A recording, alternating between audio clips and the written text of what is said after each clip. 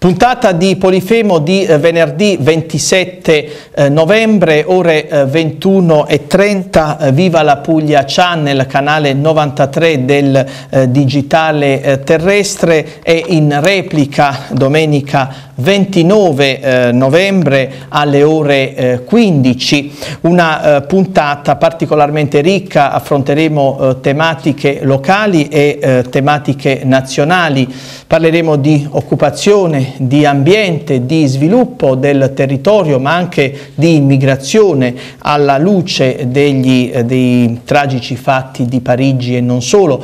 Parleremo della, mh, di tutta la vexata questione relativa al riconoscimento delle, eh, dei diritti eh, civili. Eh, ci sarà anche un collegamento eh, telefonico con il senatore eh, Carlo Giovanardi, una puntata ricchissima di alto spessore e non potevano mancare eh, ospiti davvero di eh, rilievo. Eh, sono veramente onorato e fiero di averli in trasmissione, a partire dal professor Giovanni Battafarano, segretario nazionale dell'Associazione Lavoro e eh, Welfare, il professor Angelo Fiore, coordinatore provinciale di Taranto di Popolari e Liberali e dulcis in fundo eh, Maurizio Baccaro, eh, segretario provinciale di SEL, Sinistra eh, Ecologia e Libertà. E allora non resta che mettervi comodi in poltrona, azionare il, tele il telecomando, canale 93 del digitale terrestre. Questa è Polifemo, l'informazione libera della città. Buona visione.